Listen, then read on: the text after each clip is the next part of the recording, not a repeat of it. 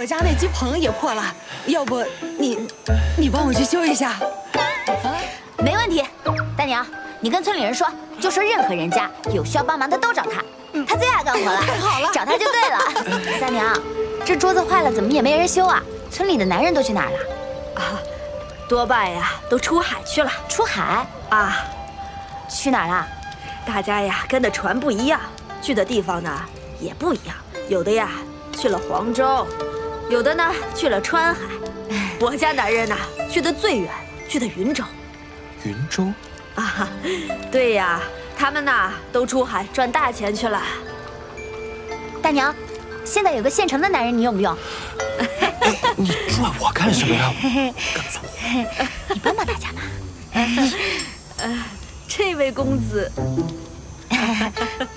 能干的很。呵呵呵，很能干的。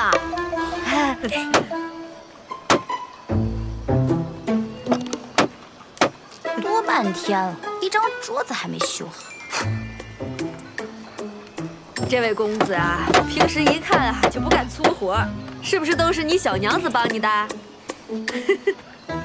是啊，平时都是我这位娘子帮了我。偶尔。啊啊！怎么了？怎么了？怎么了？我看看。哎呀，你真不小心。哎，手手脏。活没干多少，汗流不少。姑娘啊，这找夫君呢，可不能只看脸皮好看。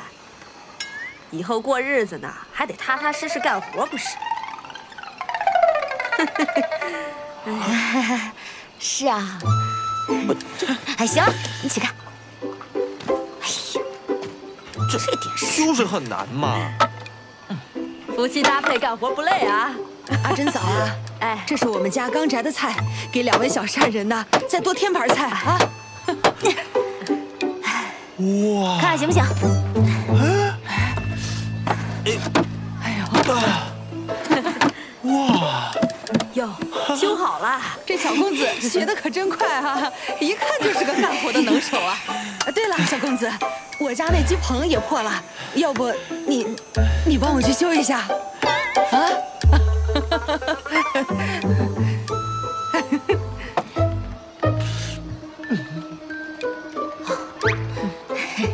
没问题，大娘，你跟村里人说，就说任何人家有需要帮忙的都找他，他最爱干活了。太好了，找他就对了。宁大人，能者多劳啊。